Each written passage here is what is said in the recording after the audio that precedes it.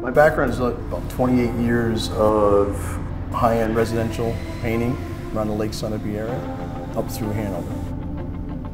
My company got started out of necessity. I was 23 years old, and I worked nights as a mechanic. Uh, we had a child coming, and I started working days uh, to make ends meet, painting, and it turned into a business.